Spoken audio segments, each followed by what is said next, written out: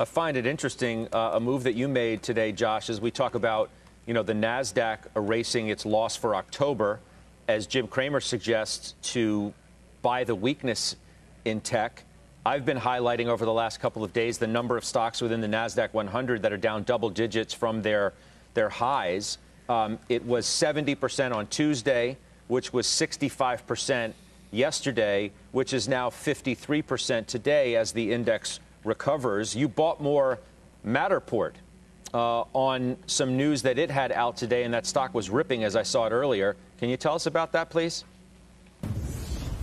Yeah, uh, to be to be clear, that's an average up. My my cost is, is lower. I've been talking about the stock for a while. I I I, I feel like this is the type of story. First of all, it's utterly divorced from everything we were just talking about. Like the macro has really nothing to do with this at all. So like put all that aside.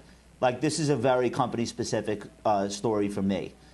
So they they came out with an announcement that they have successfully implemented their services within uh, uh, Cushman and Wakefield, which is one of the largest uh, property firms in the world um, so that all of their properties are going to eventually have digital twins. They're going to have these dollhouses that are three dimensional, like they're, they're like a perfect copy of the space.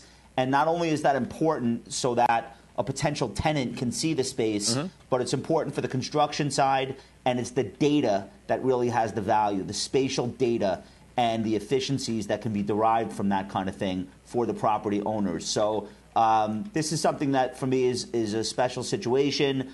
I, I, couldn't tell you if the next two or three points for the stock are up or down. Well, I'm, I'm buying it as an investment, not a trade.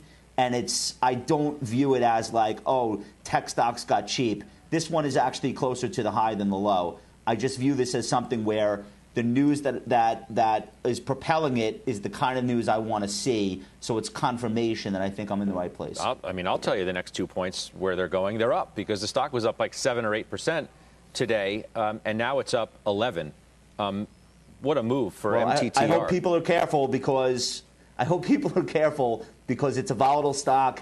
It's a, you know, it's a mid cap or a small cap without a lot of history as a publicly traded company. So people should do their own research and decide whether or not it belongs in their portfolio. I, I personally have fallen in love with the story, um, so, so I've been accumulating it slowly uh, over time. I hear you.